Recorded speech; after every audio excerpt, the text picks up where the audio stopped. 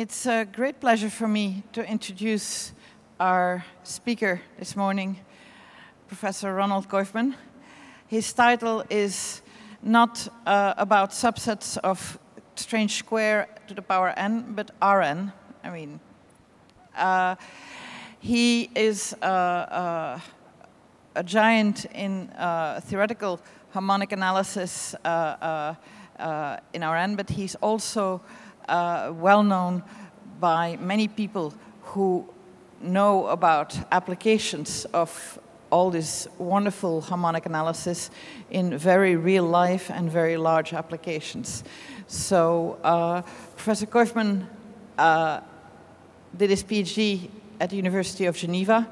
He has uh, uh been at Yale for many years now and uh, formed a whole slew of wonderful uh, next generations of students.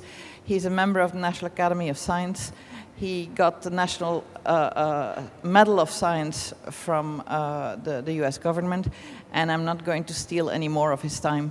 And uh, welcome Professor Coifman to the stage.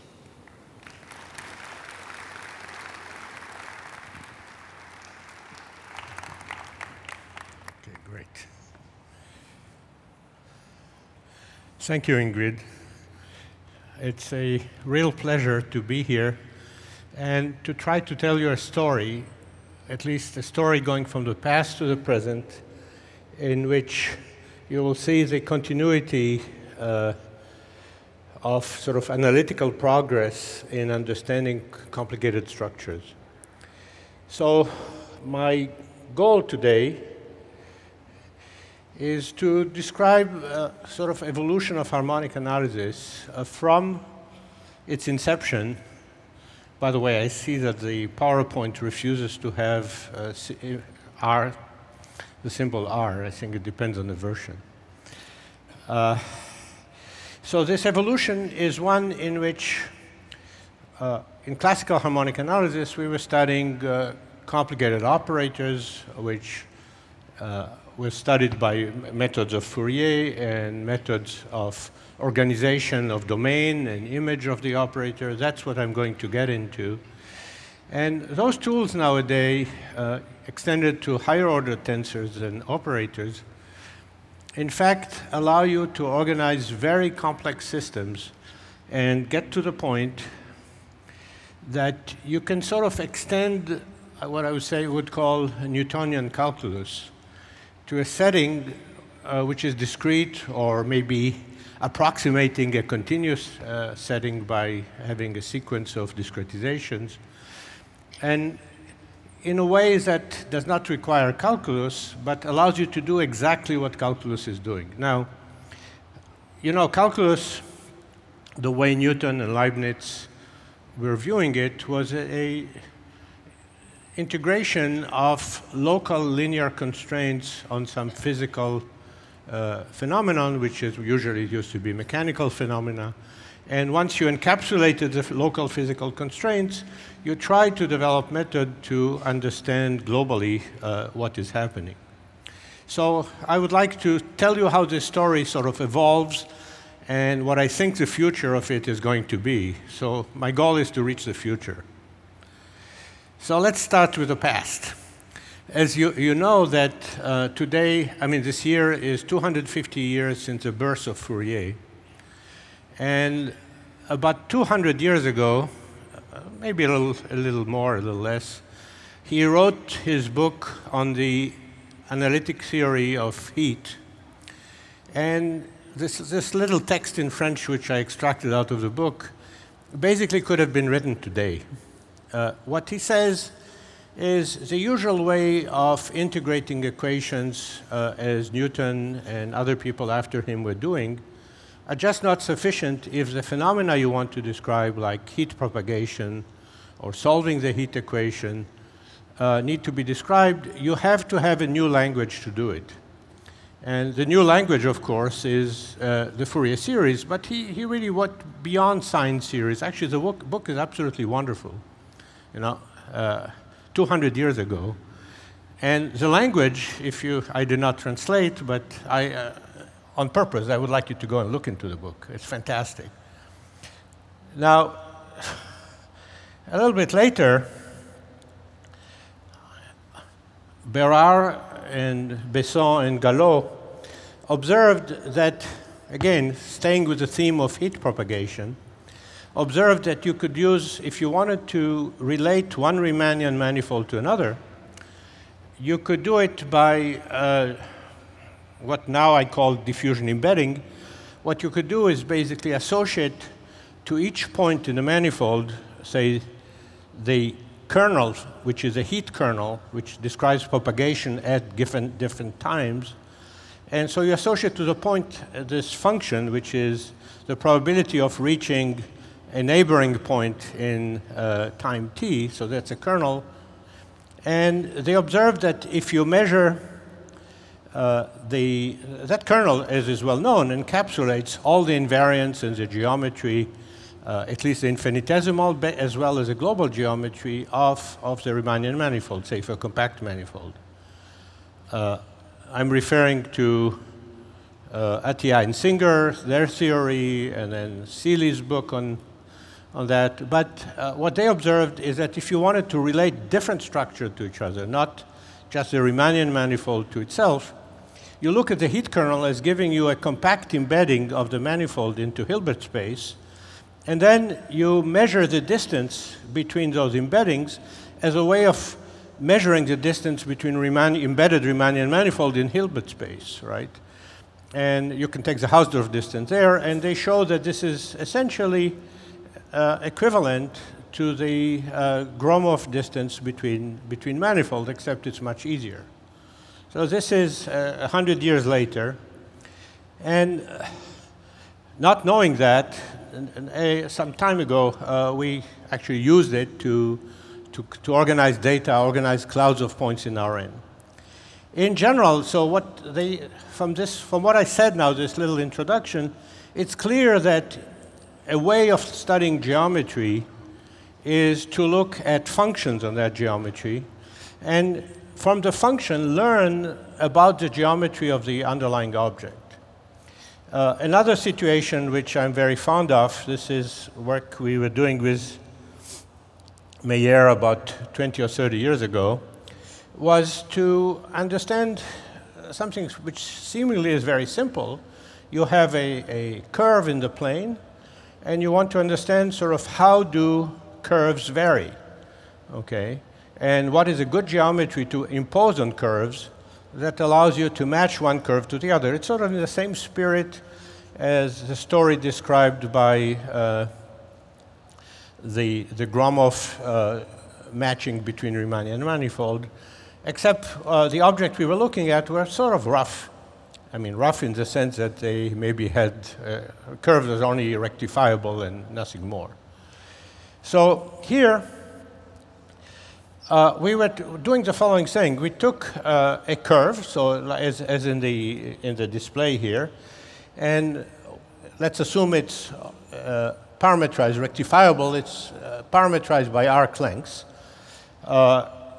Uh, you can define a domain, uh, and it sp splits the plane into two, two simply connected components, and you, you define a domain, say, on the left of the curve, which is the way I have it the red domain over there.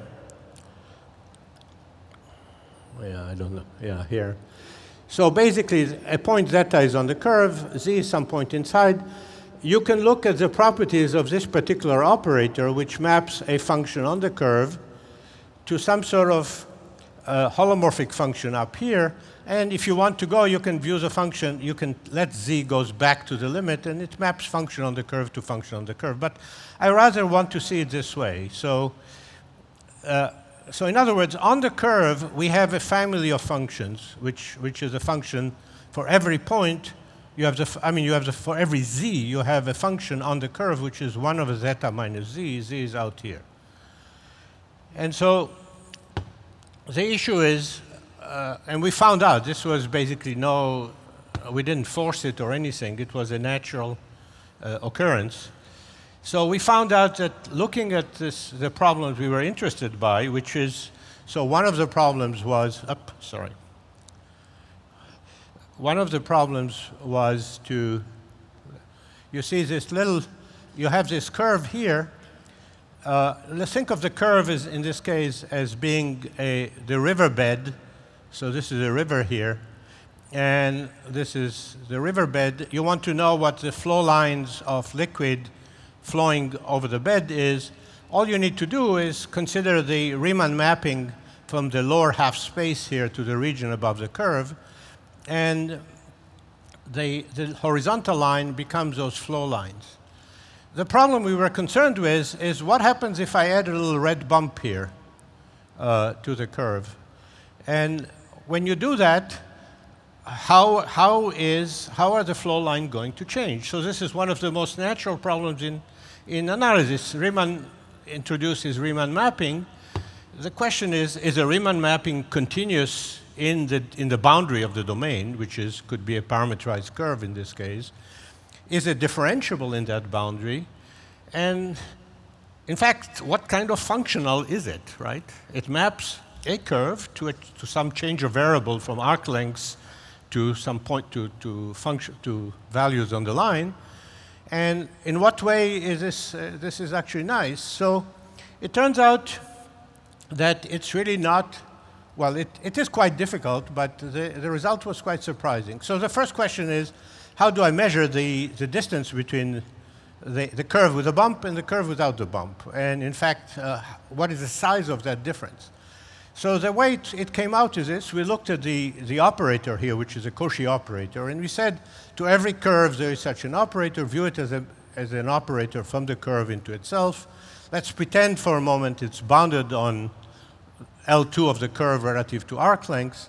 Then I can compare two curves by comparing the size of the operator attached to it. And as it turned out, at the time when uh, Meyer and I discovered that, in fact, the distance between the operators is essentially some uh, distance between the argument of the curves when they are parameterized by arc lengths, in other words, the argument of the, the usual thing. And the norm, so this distance is equivalent to what is called the norm of bounded mean oscillation, which basically measures a maximum local L2 variance of, the, of this function. Okay.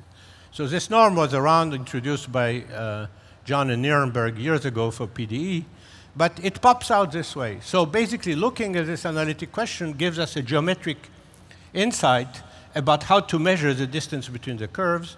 And uh, was, was quite nice. It's very, it turns out that once you know that, there's a very easy translation from the Cauchy transform to the what is called the Szegő transform, which is really, uh, contained by the Riemann mapping. So you get the Riemann mapping. You get that the Riemann mapping in fact, is analytic on the manifold of curves if the manifold of curves is parametrized in this uh, Banach space manifold structure, which is the BMO of the argument. And, it's a, and the space is defined as being, in effect, the largest space for which the Riemann mapping is differentiable or analytic for that matter. So that's, so, at, uh, so we, this was quite nice, but I'm going to relate it to how you do data analysis and understand, try to figure out how the brain of a mouse works. Okay, so it, it really goes way out. So, by the way, those, those results were uh, later extended, so this characterization of the kind of curves we were dealing with, by the way, the condition on BMO for small, uh, basically is equivalent for small, for small norms to say that the curve are verify the chord-arc condition, which means that the ratio of the lengths of the curve between two points and the length of the arc between those two points and, and, the chord between the two chords is, is bounded. So it's completely geometric. There's nothing, no analysis, no nothing. It's just the curve doesn't pinch itself too much and uh, it's, it's done under control. Those kind of results were extended later by uh, Peter Jones and uh, Guy David and Stephen Semmes to basically subsets, uh, codimension one subsets uh, in Rn, and then more generally, and in fact, uh, this, this, kind of condition uh, gives rise to a very detailed and deep theory on how to uh, organized sets. In particular, if you want to answer the question, do I, ha I have a set of points, can I parameterize it by, say, a bi-Lipschitz map uh, in three variables, for example. And so there are direct numerical conditions to, to do that, which are uh, est local estimates that you do. Uh, this also relates to the so-called traveling salesman problem, the way Peter Jones was doing it. You have a collection of points. You want to estimate the length of the shortest curve going through them without computing that curve, but just doing local estimates on variability from straight lines. In any case, I'm getting uh, to, to my story, which is uh, what we have here. Uh, you see this small, so this is now, I'm sort of jumping several steps ahead, and we'll, we'll flip back and forth between them. So you see this molecule that is pointed out to here, the arrow points to it, is an alanine dipeptide molecule. It has 10 atoms. And what we were, we were doing is basically simulating, knowing the energy of the molecule at any given configuration, you can basically stochastically simulate the molecule in water. So when it's in water, it's, it sort of vibrates and oscillates a lot. And so what you collect really uh, is a collection of configurations in this dimension, uh, dimension 30 basically, because you have 10 atoms, three coordinates per each. Of course, of course you should reduce the dimension uh, substantially, but what you see, uh, you don't expect this thing to be very complicated. The, molecule, the atoms could be anywhere, but they're sort of basic places where it would be because the, the shape of the molecule is governed by those two uh, axes that you see that are pointed to. You see there are two angle variables, which basically tells you how, how it's shaped. And then, of course, it vibrates a lot from that. Once you, those angles are frozen, you may find many configurations like this. So think of it, there is a state of the molecule which is sitting in space with the two angles at a certain configuration. But our goal was not that. Our goal was, can we find those angles just from, from observations? And do we need to observe the full molecule to do it? So the point was, don't do that. Just let's try and do the following. Can we uh, say, observe only five of the, uh, of the atoms, and then from that uh, get the, the coordinates, which are the, the position of the two angles in, in space, uh, from the five, and then take another set of five atoms, and can I get the same angles? And in fact, can I get a representation which is going to have to be nice enough to be sort of independent of the observation mode, okay? So it's like, uh, I mean, mathematicians have been always saying, well, I have a manifold, uh, say, surface in R3. I can write co local coordinates for the surface, but that depends on how I do it, right? Every time I turn the surface around, I get a different set of coordinates if I want to, to do it by, say, projecting on some planes. So the issue is, is there a sort of an intrinsic way of assigning coordinates. And as you will see, not only there is one, but we should have used it for, for years when dealing with Riemannian manifolds. And so here, the assumption, underlying assumption here is that basically this is mostly a two-dimensional manifold, uh, basically given by the, the angles, that, those two angles in there, and we want to discover that manifold with its internal intrinsic metric uh, as, as it comes. And so what you see is we have observed the molecule with five atoms on the left. We have observed it with five atoms on the right.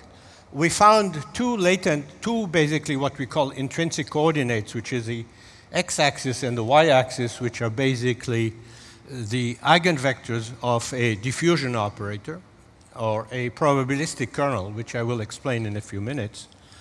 And you see the molecule with this observation or the other. The color, by the way, is, is represents the, the size of, say, one of the two angles. And as you can see, the color on, the, on both representations, it's pretty good. We actually measure the relevant variable quite nicely uh, from uh, from this set of observations. So it's remarkable. In other words, there is some sort of innate truth floating, floating in there, and we want to pull it out. We don't care what instrument we are using.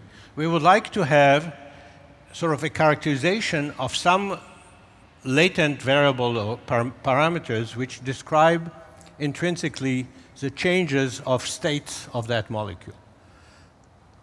What is really happening in this case is that we don't match a point to a point. What we do is we take, we observe the molecule for a little while, so we observe a little cloud of, of uh, neighbor, basically a neighborhood of a given position, because this is stochastic in water. And, and then we are comparing the, the statistics of that neighborhood to the statistics of a neighborhood of another point, and that's how we relate points to each other. Comparing statistics has the advantage that you are not pre-specifying how you're going to relate things to each other. Probability is probability is probability. It doesn't, if you can measure it, you have automatically an intrinsic way of seeing, uh, seeing the world. So let me uh, go back a little bit. So this is about 11 years ago.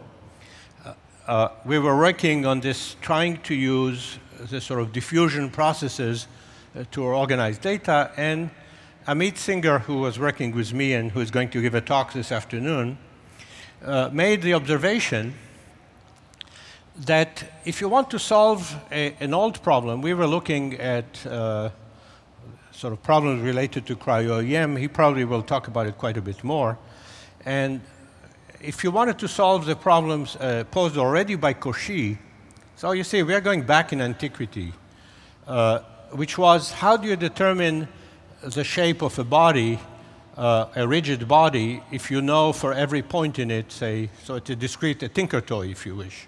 It's a discrete body, and for every point, you know the distances of that point to a few of its neighbors, and, and the assumption, underlying assumption, which is not obvious but can be checked, is that you have enough information to define, to, de to have the point uh, rigidly defined. Or for example, you think of it this way, you have the cities in the US, and you know for each city uh, a few other cities in the neighborhood, and you know the distance, exact distances between them, can you assemble the map of the US? I mean, so the way, how, how would we do that? I mean, it's very simple. I mean, you take a point and you look at, say, the three or four or five neighbors. So if you have enough neighbors uh, to determine, to do basically uh, trigonometry to determine all the angles, uh, then you can easily write every city, as, as is here, as a convex combination of a few of its neighbors. Okay. And so that, that, would be, that would be your model. And once you've done that, you can, okay, so that's, that's a local linear model, if you wish, of how the cities relate to each other. So for every city, you compare to a few neighbors, and you describe the city as a convex combination of its, of its neighbor. So suppose I'm, uh, so suppose you have done that, then the solution of the problem is staring at you. It's right sitting there.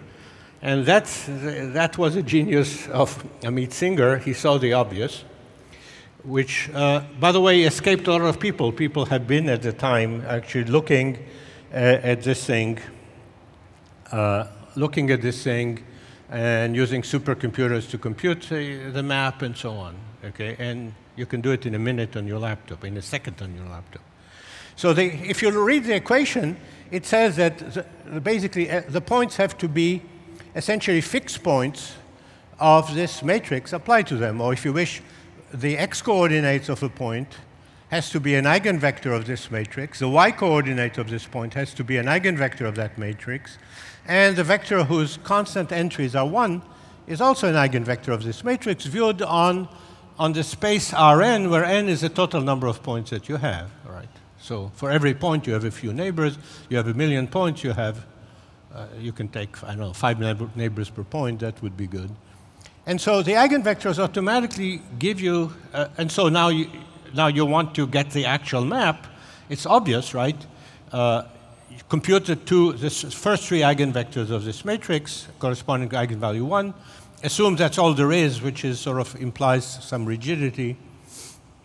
And then from that, you just have to uh, basically write. Uh, so x is a linear combination of the two eigenvectors you, you found. y is a linear combination of the two eigenvectors that you find. Uh, if you set 0 to be uh, uh, to be the, the center, center, of, the center of all the points, so the average of, of the points that you have is 0, then 1 is orthogonal to that, so you need those two eigenvectors, uh, they're orthogonal to 1. And, and now you, all you have to do is find two parameters, but then take three points uh, that you, you normalize, a triangle that you normalize, and everything is scaled to that. So you're finished. The whole problem is, is solved, uh, obviously. Now, it shows several things, and the reason I chose that example is, is the following. How would I actually solve this problem of if I know the local model of the data, which is I know the local configuration, I can actually, by trigonometry, figure out what the local map is, how do I actually get the global map? Okay, the way you do it is by integration. So in other words, you take a piece, a piece of that puzzle, and you look at the neighboring pieces, and you match them, and keep on building the puzzle until you got the whole map. Okay, when you do that, starting at a point, and you do it, you risk actually making mistakes along the way and finding uh, Denver and San Francisco close to each other. Okay, so so the point is, but it's a process of integration, and in fact, this allows you very simply. This extends the fundamental theorem of calculus.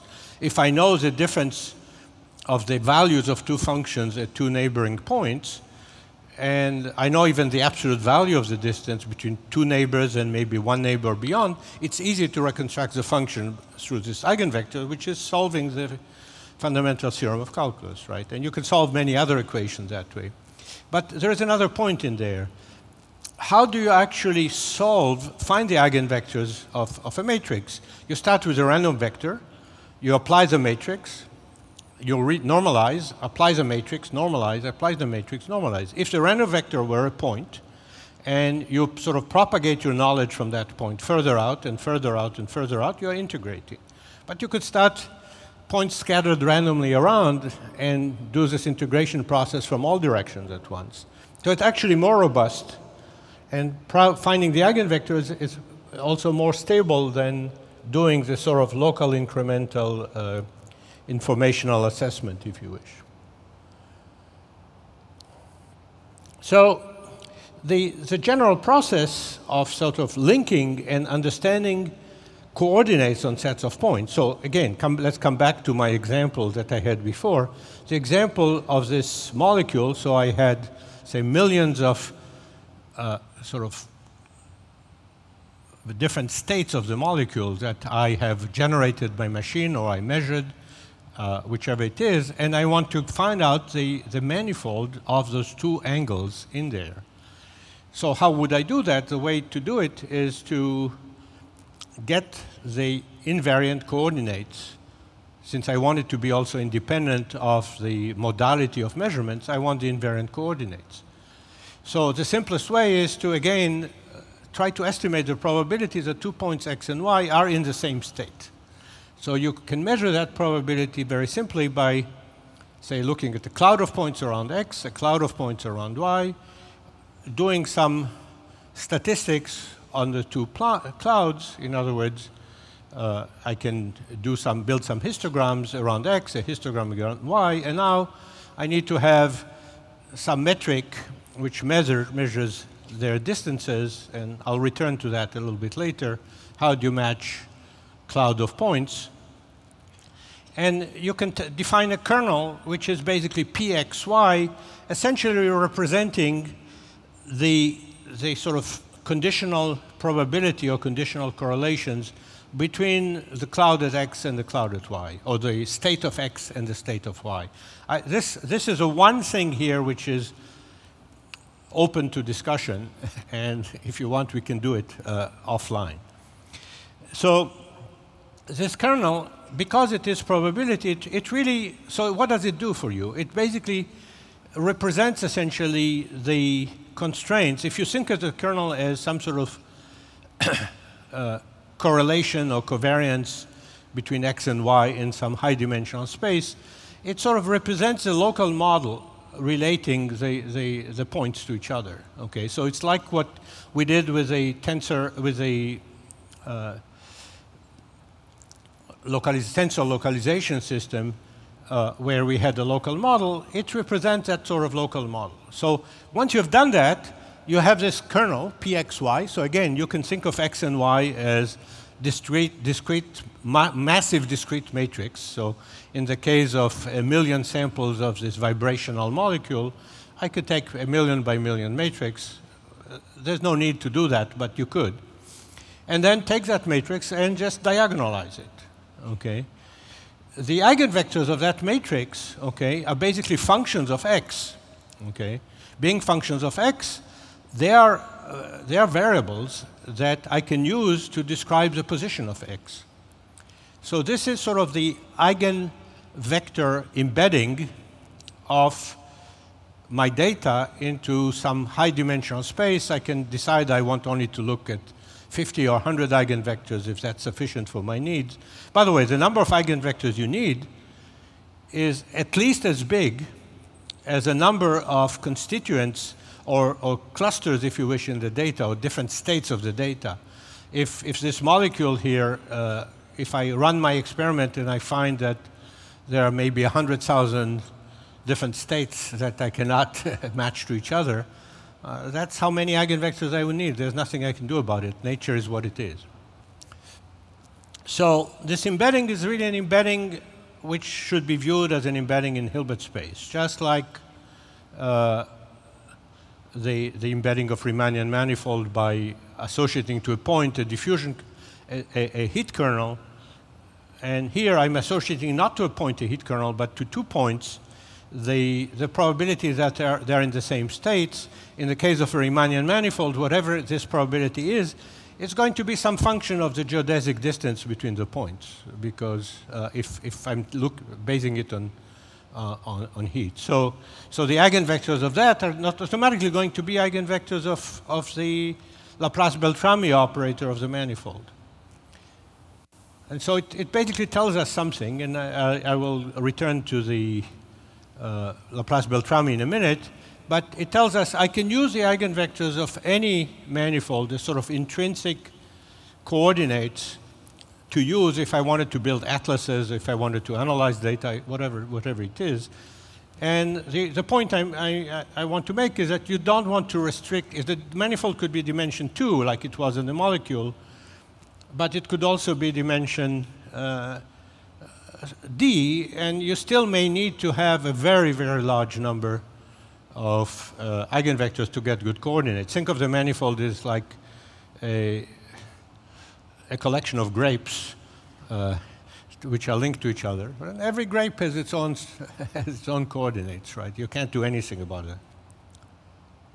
So here, coming back to the manifold, there is a, a, a theorem proved by uh, Peter Jones, uh, Mauro Maggioni, and Raanan Schul, uh, not long ago, after we started this, this adventure, that in fact, if you take a Riemannian manifold and you want to construct uh, a coordinate system around a point, then you can always find eigenvectors of the Laplace-Beltrami operator that give you, sort of in some ways, an optimal description of the coordinates around the point.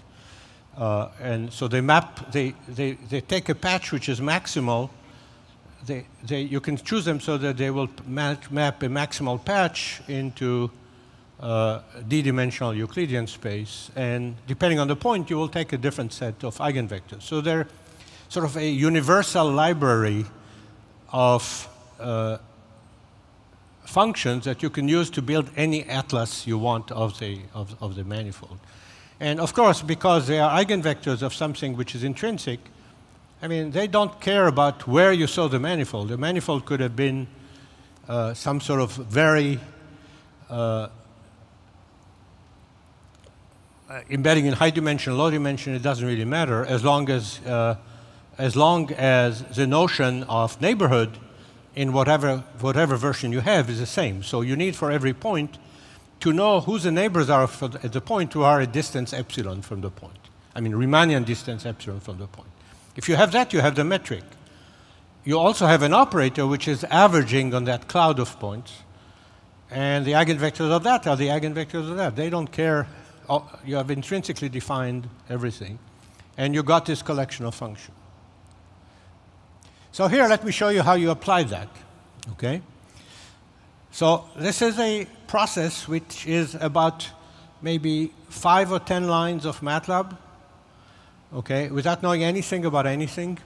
So what it does is this. You have this image here, and I pick a pixel. I don't know if you, okay, you see my, my pointer on the scarf here.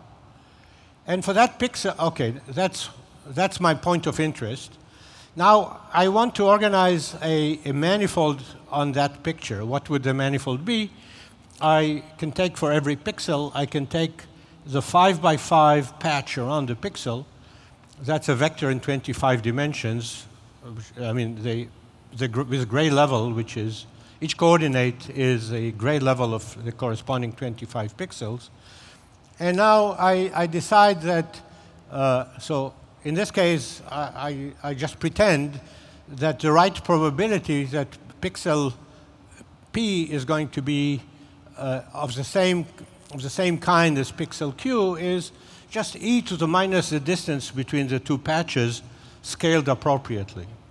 So when I do that, what happens is that I, I can now, uh, so I have an operator, which means what is the operator? I take a point, I take a function on this on this uh, image, if you wish, a function is another is a function of p, and then I average it on all pixels which are uh, neighbors of p.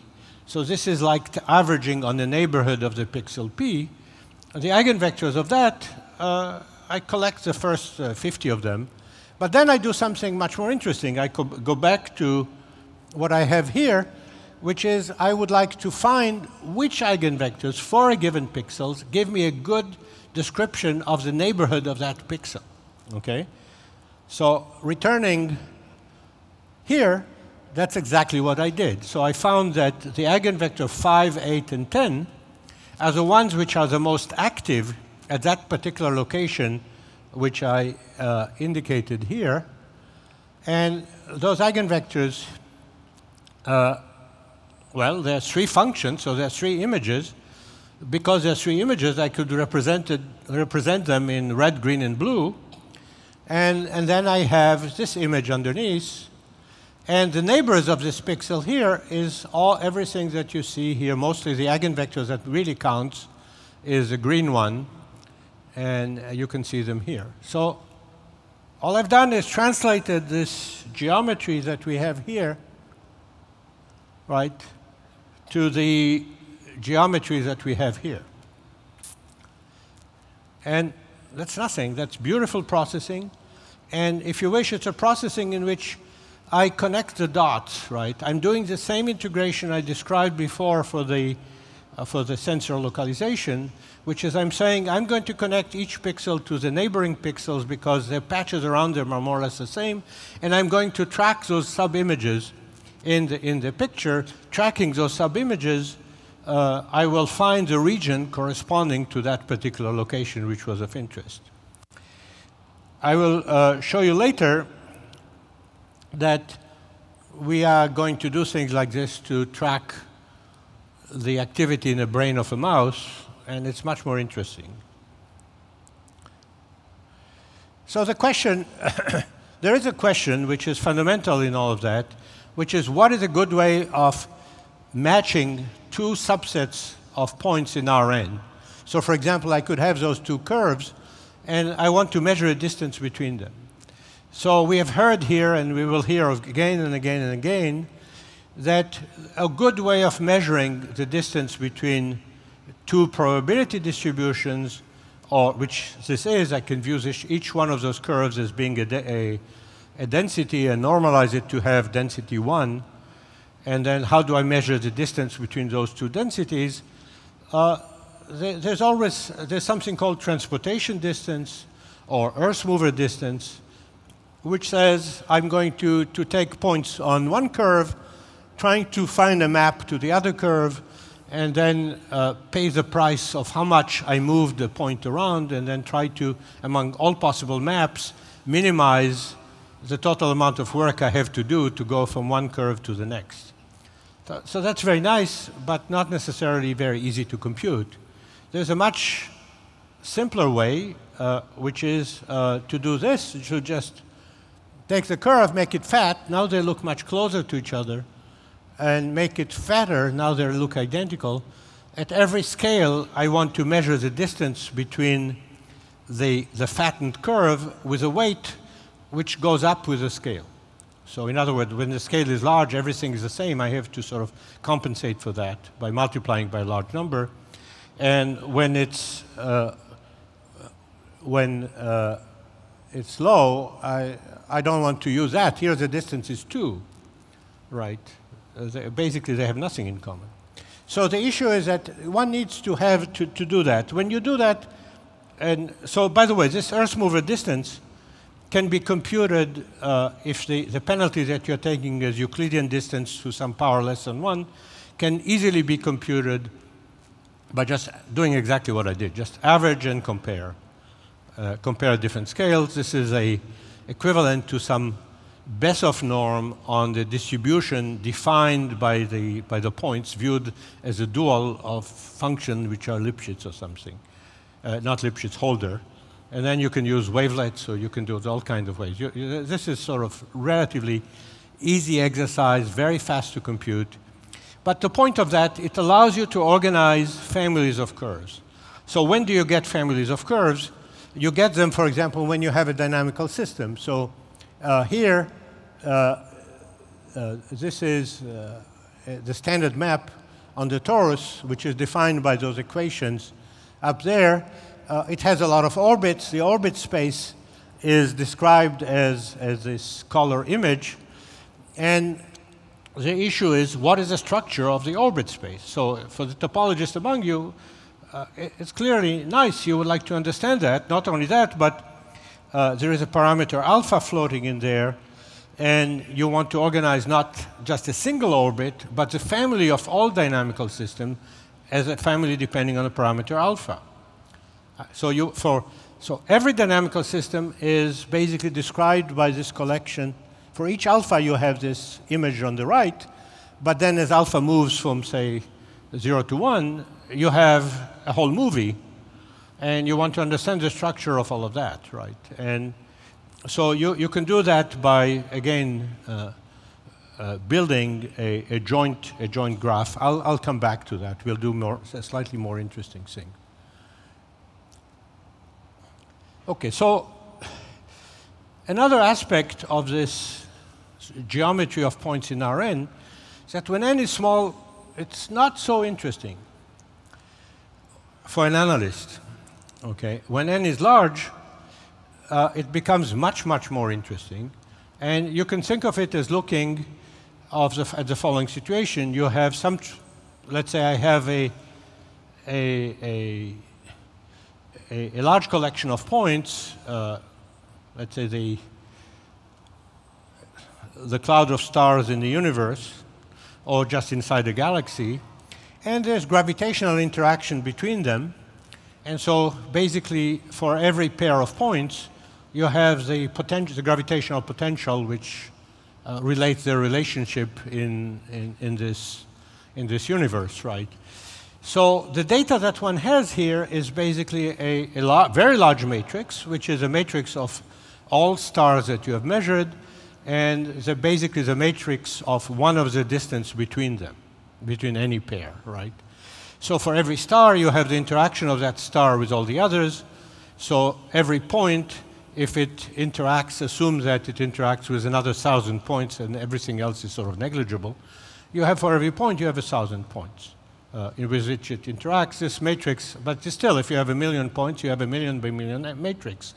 So your data is a million points. Each one interacts with another set of million uh, points. And what you want to do is organize, uh, organize them uh, in a way which, where all the dependencies are sort of washed out. Okay?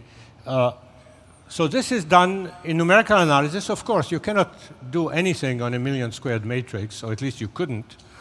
And so there were methods like the fast multipole methods uh, introduced by Rokhlin, but even going further down, the Calderon-Zygmund decompositions introduced by, by Calderon and Zygmund, in which what you do is basically organize, organize the points into a hierarchical collection of, of boxes and organize the, so you, you organize the columns of this kernel and the rows of that kernel into two different organizations, depending if they are, if it's the same space, it's more or less the same organization, but it could did, not, did not be.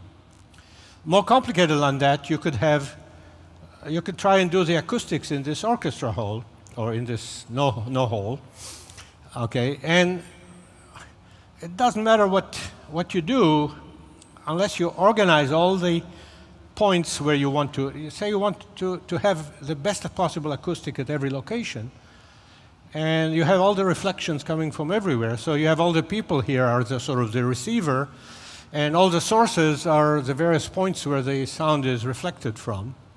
And so you want to relate one to the other and organize this universe. Okay. At this point, uh, at least to my knowledge, no machine learning will do anything.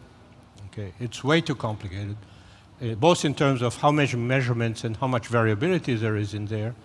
You really have to organize that, this universe. So that's what I'm, go I'm going to describe how to do it. So the way we want to think about it is like a big monster questionnaire, okay, in which every person in this room is basically constantly uh, assessing the quality of the sound, if you wish.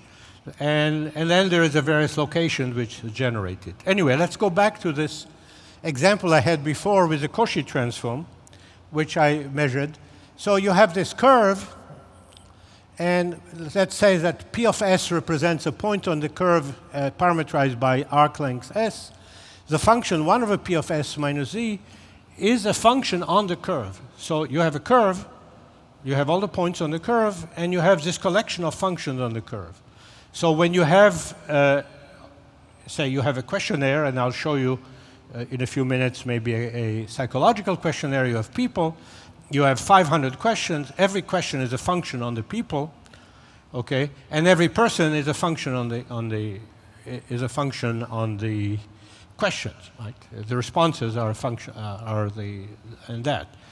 Now, what I want to do is show you that you can organize the geometry of the questions and the geometry of the, of the people in that case in such a way that all the redundancies, or more, many of the redundancies and dependencies, are sort of washed out, and you try to represent it in a, in a much simpler way. Okay? Uh, that's one of the goals. The other goal is to actually process all possible information that I may be interested by in the future after I've organized the geometry of my data. So in the case of a, of a database, which is a questionnaire, people being asked questions, and you have responses of thousands of people uh, to hundreds of questions, and you want to organ get an atlas of psychological responses, you, you want to do it so that you can actually use that to compute functions that you haven't asked about, like, for example, how dysfunctional is that particular person, okay, or how effective is, okay, or so on. So, so in the case of the Cauchy transform, the functions we were looking at are basically the function, the holomorphic function on the curve, which have a pole, I mean the simple rational functions having a pole at z, right? That was it. Z is off the curve. That's my collection of functions, and I organize the geometry based on that collection. Okay? So I can organize the geometry of the z's, which are the various locations. That gives me something like a Whitney decomposition of the upper half space, or the space next to the curve, and then a geometry of the of S, which is the usual geometry on the line uh, that one has.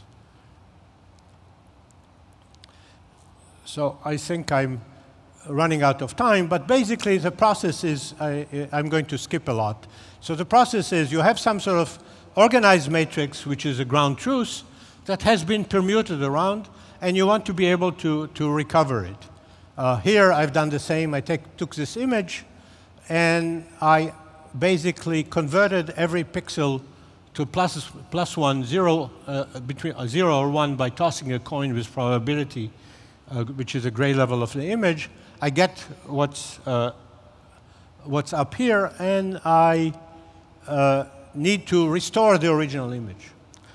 So that's sort of the generic problem. You can do, you can do quite, uh, quite well in doing it. A, a, more interesting example is what I said. You have this 3,000 people, 500 questions, answering yes or no to the questions. And that's it looks like the, the, the garbage picture on, on the top left. And the issue is what do you do with it, okay? And the point is you can get it organized into groups of people which have, who have similar response, response which is uh, uh, what I was describing before, say, are two people likely to be in the same psychological state based on their answer? That would be my, my kernel, and I can use that to organize the people into groups. I can also organize the questions by, are two questions relating to the same, or basically asking the same thing, and by just saying across the population how similar the responses are. So I also have an organization of the rows of this matrix, and the, the joint organization is one you, where you want to have this, a simple possible structure, the simplest possible structure on, you see the highlighted box here, shows you that in that group of columns and that group of rows, basically the response is a barcode, okay? Everybody in the group uh, gets the same no answer from that group of questions, and everybody gets the same uh, thing. So this geometry can be uh, extracted from the uh, sort of initial thing by iteration. The main point here is that none of that works if you ignore the facts of life, which is that many questions are equivalent to each other. They're basically asking the same thing. People tend to get tired of answering 570 questions, and they sometimes put anything down. So if I compare the response of a person to the response of another person, I may have a lot of responses which are basically noisy, misfits, and it's not very accurate. I should do much better. I should compare the response to a certain conceptual group of questions to the response for another person to a conceptual group of questions. And that will basically give rise to an Earth mover distance between people profile. Similarly, once I've organized the people in certain categories, then I get a response of how I, I, get, I get the understanding of whether questions are related to each other. In other words, I see to those two questions, the same groups, uh, certain groups of people or all groups of people answer the same way, so they must be related. Okay, so I, the issue here is to uh, eliminate the dependencies between them.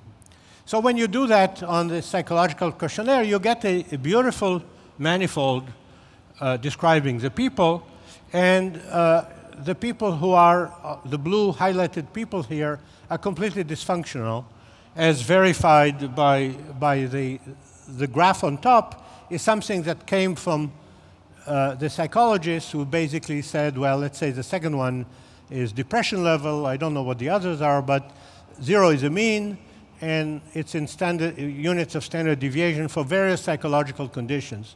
So you see that everybody, and, and being up is, is bad. So everybody in the blue group is, is in, in trouble. On the other hand, the other extremity, uh, everybody is incredibly stable and functional and so on. And again, uh, what I'm really trying to, what I'm, my, my message here is that this nice two-dimensional geography of people came about, it's, it's not real, okay? It's really something that one imposes on the data. In other, words, if I were to actually organize the people by similarity of, of profiles, I'll just get something that looks like a Gaussian cloud. Okay. The reason they're so well organized is that I'm, I'm defining a similarity of people between people which is rather, rather uh, smooth in the sense that I compare them by responses to large groups of questions suppose I split the question into bad questions and good questions, And then I, I just would to do ask, uh, basically classify a person by the proportion of bad questions he answered yes to. Okay. Then I'll have a one parameter curve. So this two dimensional manifold will look like a curve. And that's it. The way I'm setting it up, I'm basically doing signal processing on the data by, by imposing how similar, how to measure similarity between clouds. So my, again, my point is that it's very nice to let mathematics dictate, but it's also not related to anything sometimes, okay? You have to, you let mathematics dictate, but you have to understand what, how it imposes, how it changes the metric space that you are dealing with, what it discriminates among, and, and what, it, what kind of discrimination it provides, or, or similarity it provides. I'm at the end of my talk. Let me just skip this. Let me just say this. Uh, this is interesting for the people here who do spectral theory. Uh, if you take a Riemannian manifold and basically take the eigenvectors of Laplacian on that manifold, and then you say, well, let's look at this as a questionnaire. Every eigenvector at every point has a certain value. I'm looking at the collection of eigenvectors as the responses to questions that the point is asking. So my situations, I have points, I have questions. Eigenvectors are answers. How do I organize, what is the geometry of eigenvectors? Okay, I have a Riemannian geometry on the manifold. How do I build the corresponding dual geometries on, the, on, on that? And so if you deal with them like a psychological questionnaire, it works extremely well. So for example, take the function sine kx, which are the eigenvectors of second derivative uh, on, on 0, 1, uh, you organize them, and then you, you see that you can get an organization with a little bit of cheating. You can get an organization of both k and x. x is, the cheating is that you're assuming you have, you, you sort of have a little bit more x's. You know, eigenvectors are orthogonal, so you can't tell anything, but if you sample twice in x, you can organize the x variable, and that organizes everything else. So you need a lever to start with. Okay. The point, let me just, one, okay, this is good. You see that? We wanted to understand the brain of a mouse. so this is a pendulum with a constant changing over time. Okay. And we took a video camera of that, took a video image of this pendulum, and then projected it into, I think we have 100 dimensions. We took 100 run, is displayed as an image.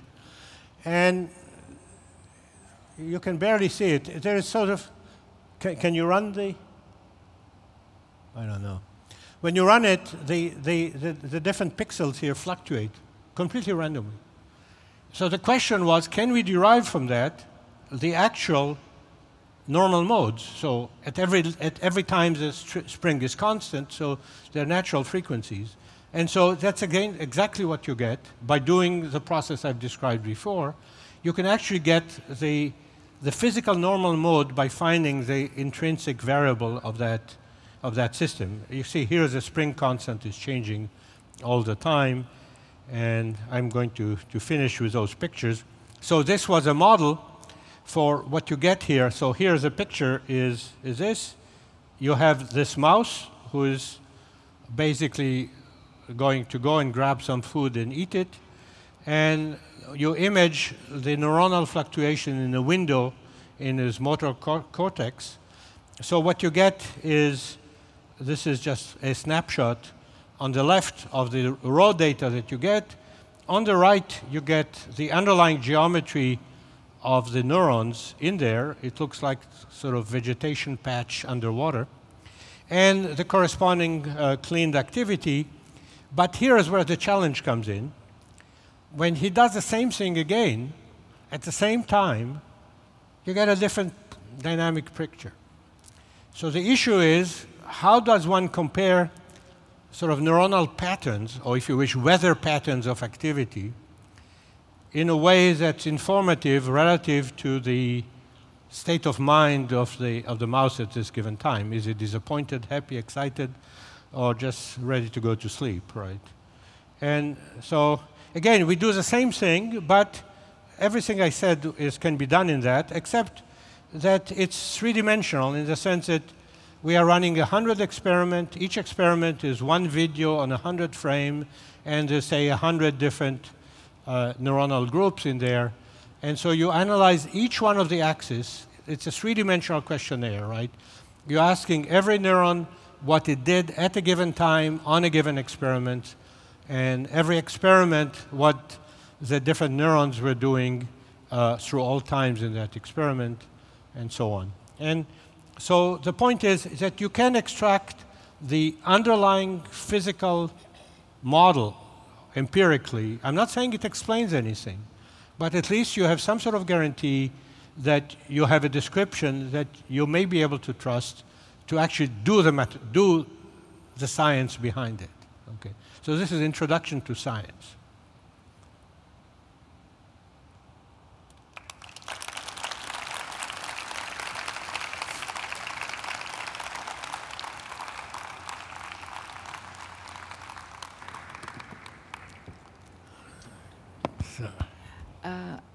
So uh, thank you very much uh, uh, for this, this wonderful talk. Uh, as you know, it's not really very feasible in this room to have questions asked from the uh, audience and then answered by the speaker to the whole uh, public. But Professor Coifman is happy to answer questions uh, in, in, in, uh, to people who would come up during the intermission. So uh, I would welcome, I, I, I, would encourage you to do that. We have had an overview where it's clear that we, only, we get a glimpse of a lot more and there is a lot uh, that is really intriguing and very interesting here.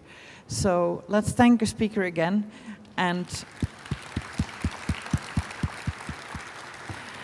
And that closes this session.